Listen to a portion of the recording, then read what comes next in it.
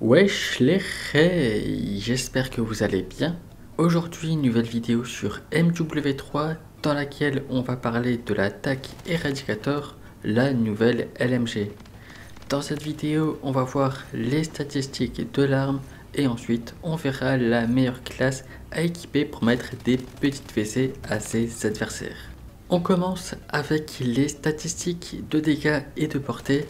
L'attaque Eradicator va faire 39 de dégâts dans la tête et 36 de dégâts dans le corps. Cela permet de tuer entre 4 et 5 balles comme la plupart des armes sur MW3. Et en plus de ça, on a une portée de 29 mètres, ce qui fait que si on rush, on va toujours avoir ces dégâts-là. Les dégâts sont plutôt de la moyenne, mais il faut les juger par rapport à la cadence de tir, et celle-ci est de 857 balles par minute. Concrètement, c'est la LMG avec la meilleure cadence de tir.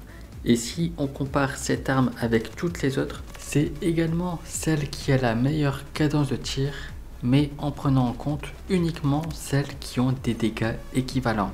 Parce que tu as d'autres armes qui vont avoir plus de cadence de tir, mais moins de dégâts en compensation.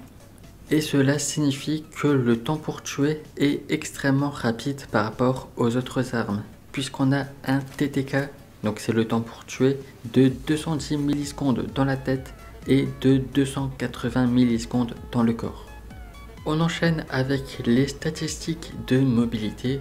En prenant en compte les accessoires, on a un temps de visée de 278 millisecondes, ce qui est plutôt rapide pour une LMG.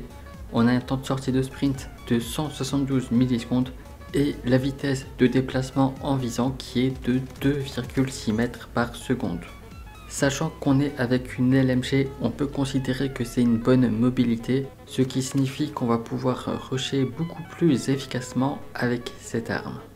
Concernant la capacité chargeur, on a 75 munitions. C'est pas incroyable, mais disons que c'est la contrepartie pour avoir une bonne mobilité. Et on a un temps de rechargement de 3,5 secondes, ce qui est assez lent et on va quand même devoir recharger régulièrement. Donc je recommande de mettre l'atout pour recharger rapidement. Le viseur par défaut je le trouve pas terrible et concernant la précision, le recul est largement gérable.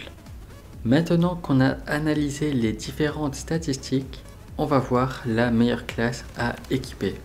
Tout d'abord, on a l'accessoire canon garde-main DR6 la bouche silencieux Shadow Strike, le canon court Exiler 84, la lunette réflecteur MK3 et la Cross TV X-Line Pro.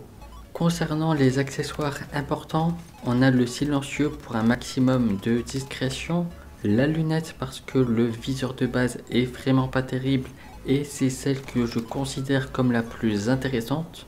Le canon, l'accessoire canon et la crosse, c'est ce qui permet d'optimiser au maximum la mobilité et notamment le temps de viser. Concernant la classe, on n'équipe pas de chargeur, on a largement assez de munitions et on recharge relativement vite pour une LMG en tout cas. On peut mettre un chargeur de 45 pour booster la mobilité. Ça peut être pas mal parce que là on se rapproche de la mobilité d'un fusil d'assaut mais ça prend la place d'un accessoire important. Ou alors on a aussi l'option de mettre un chargeur de 150, mais là il y a peut-être un petit peu trop de munitions. En plus de ça, ça fait perdre en mobilité. Et je pense que cet accessoire est juste utile pour monter le camouflage en or, puisqu'il faut faire 2 kills sans lâcher la gâchette. Donc là, ça peut être une bonne option.